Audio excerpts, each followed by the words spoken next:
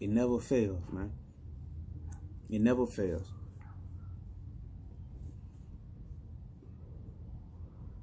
As soon as you start to make some moves that that that make them people uncomfortable, here they come. Especially when you have a history with them. Now, I wrote a book, right? Suicide Note. Right? I wrote a book, Suicide Note, by Matthew Daniels. Uh, it just got published in September of 2019, and it's doing real good. Um, got enormous amounts of sales on Amazon. So good, in fact, other platforms have decided to pick it up and sell it too. Barnes and not Barnes and Nobles, uh, half price books, uh, Walmart, Walmart is selling it, uh, Power Books, AbeBooks, um, just just go on the internet, type in a bookstore, look at their online selection, see if they had a book. Chances are they will because like I said, the book is doing real, real good. And them haters, them people, they watching, right? So now, the latest thing, because they always going to try to stop you from reaching your full potential. So the latest thing is, I have this guy saying he's a cop, right? Which department I don't know. Whether he, whether or not he's really a cop, I don't know. But I do have reason to believe that it's legit but I have this person who's been hounding me since before the book got published when I was promoting it, saying that it was going to get published, saying that um, they heard that some of the events in the book were real. Some of some of the crimes, some of the the the the, the serious crimes, you know, um, is is is murder in the book, is drug sales in the book, is gang banging in the book, you know, thing things shootouts in the book things things like that. Classic classic hood tale you know? Young man raised on the streets of Dickinson rough part of Dickinson Texas trying to trying to find his way out of the street game into a legitimate lifestyle. And so now the latest thing is some of the events criminal events that I've placed inside of my book are real. And I'm I'm receiving uh, threats via social media in my inboxes and, and, and things of that nature from this guy claiming to be a cop. Again, I don't know what department, saying that they have been going over my book with a microscope, right? A fine tooth comb. And there has been found to be similarities between the, some of the events described in my book and events that happen in, in real life. And now they're talking about, oh, um, j- just wait till I see you. Um, basically, you're going to be spending the rest of your life in jail. So I hope you are making some real good book sales because it's going to look good on your commissary. So I want to say something first, right? Disclaimer.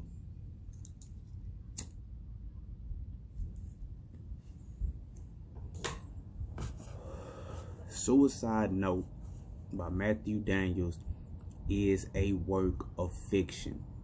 Okay? It's a work of fiction. Wait a minute. Wait a minute. Right? That's the disclaimer. It's a work of fiction. The, the people are not real. Some of the places are real. Some of the activity in, in a broader scope is real, but it's not specific, if you understand what I'm saying. Um, I may talk about murder. Is murder real? Yes, people get murdered, but are the people in my book representations of real people who have been murdered? No, no, it's not.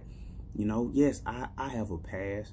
Okay, yes, I have been involved in some of the things that are found uh, uh, uh, within my book. But what I'm saying is, if I have enough intelligence to create a story and write a book and put it out there to the world and the world is receiving it. Some of the books even being sold in the UK. If people are receiving it, why can't you just let me be?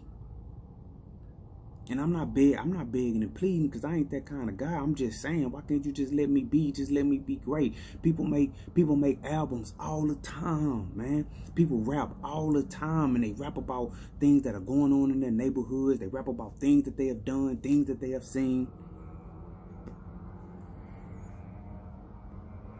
You ain't harassing them. You don't want to take them to jail. But I write a book, a fictional book, disclaimer, right? I write a fictional book with fictional characters and fictional events that may or may not sound like events that have really happened. And you all breathing down my neck. I'm, I'm, I'm gonna tell you something. If you come, you better come correct. Cause I know you're gonna see this video. And this ain't even for the general public. This for you. Or this for y'all. This for y'all. I know you're gonna see, I know you're gonna see this. And if you want to stop this, come hard. Right? If you want to stop this, come hard. Because this is my dream. You feel me? This is my dream, and I'm making it a reality. It's being sold all over the country. You can't stop that hater. It's being sold in other countries. You can't stop that hater. Right? And I'm making some legit money. And if I'm making legit money based off things that's in my head, things that I've experienced, things that I've seen, and I was able to put that into a story that the world is receptive to, why you mad?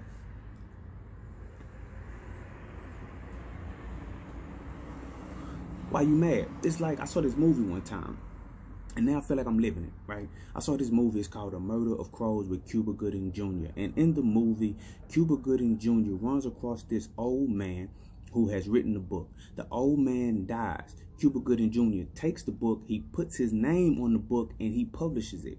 The book gets wonderful response. But the old man, who he thought was an old man, wasn't really an old man. It was a young man dressed up like an old man. And that old man, and that young man rather, had actually committed murders and wrote stories detailing the things and the events of his life and those murders. And he mailed the book to a detective who was working on one of the cases, right? So when the so when the detective read it, he realized that one of those um, stories sounded eerily similar to a case that he had been working.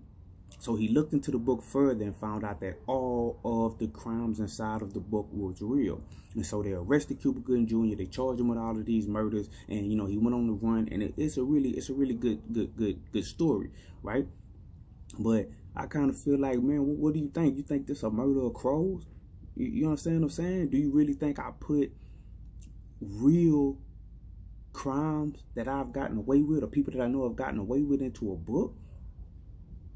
Right? See, the fine line that you have to walk when you're an author, you have to draw from personal experience. I, I, I can't get around that. Yes, I had to draw from personal experience, okay?